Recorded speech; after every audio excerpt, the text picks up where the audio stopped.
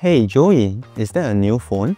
Yes, I just got it yesterday, but I'm trying to transfer all of my apps across now from my old phone. Do you know that SingPass just rolled out a new feature to make it easier for you to set up the SingPass app on your new phone? No, I didn't. How do I do that? First, download the SingPass app on your new phone. Begin the setup by entering your SingPass ID and password. Hmm, I need to see if I remember my password.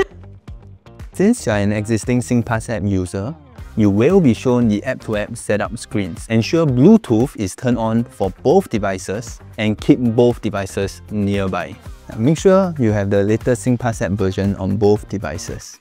Launch the SingPass app on your previous device and tap Scan. Oh, this is familiar. I need to scan the QR code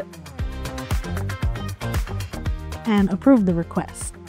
On your new device, enter the 6-digit SingPass app passcode from the previous device. Oh, I know my passcode, but you need to turn away. okay. Confirm your details by ticking the checkboxes.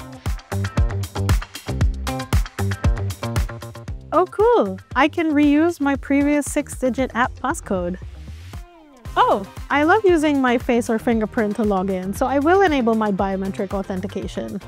With that, the SingPass app on your previous device will automatically be deactivated, ensuring that there is only one copy of your credentials. Wow, that's so quick and easy.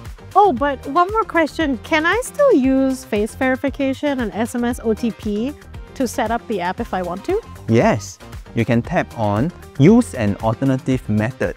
Wow, thank you for the tip. Most welcome.